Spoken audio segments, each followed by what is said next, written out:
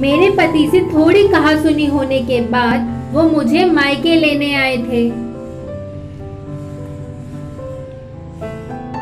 लेकिन तब कुछ झूठे रिश्तेदारों और कुछ मायके वालों के कहने पर मैं उनके साथ नहीं गई। मैं राहुल सिंह, आप सभी का हार्दिक स्वागत करता हूँ। दोस्तों, आपका प्यार ऐसे ही बना रहे, हम आपके उम्मीद पर खरा उतरेंगे। हमारा मकसद सामाजिक आध्यात्मिक मुद्दों को उठाना है। और हमारा उद्देश्य है, जो भी सच होता है, वो समाज के सामने लेके आना है।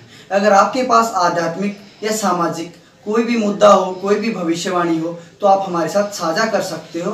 हम अपने चैनल पर उस वीडियो को ज़रूर दिखाएँगे। अगर आपके पास कोई सुझाव हो तो हमारे को कमेंट्स बॉक्स में ज़रूर बताना। धन्यवाद दोस्तों। तलाक होने के बाद एक लड़की की दिल छूने वाली कहानी।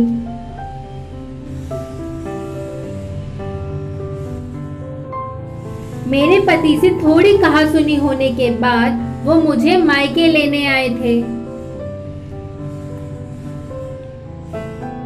लेकिन तब कुछ झूठे रिश्तेदारों और कुछ मायके वालों के कहने पर मैं उनके साथ नहीं गई।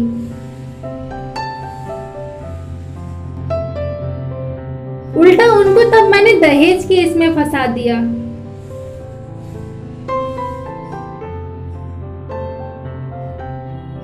मुझे बड़ा मज़ा आया कि ये लोग अब कोर्ट के चक्कर मारते फिरेंगे। केस झूठे थे तो मेरे पति बरी हो गए, दोबारा शादी भी हो गई। पर अब छह साल हो चुके हैं और मैं घर में ही बैठी हूँ।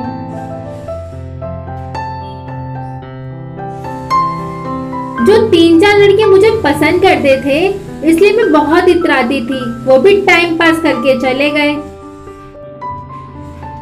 आज सोचती हूँ कि मेरे पति लेने आए। तब ही उनके साथ चली जाती तो एक दो बच्चे होते मेरे सहेलियों की तरह और आज मैं खुश होती अपने पति के साथ। दोस्तों, आखिर में यही कहूँगी, छोटी कहासुनी सब घरों में होती रहती है, पर किसी के बहकावे में आकर कोई बड़ा डिसीज़न ना ले। कोई नहीं देता, सलाह सब देंगे। आखिर में आपकी ज़िंदगी तबाह हो जाएगी। अगर कहा सुनी हो जाए तो रिश्ते खत्म करने से अच्छा है कि चार दिन रूठ लिया जाए। दोस्तों, ये बीमारी हमारे समाज की बुराई बनती जा रही है। आजकल लोग बहकावे में आकर अपने ही रिश्ते तोड़ लेते हैं।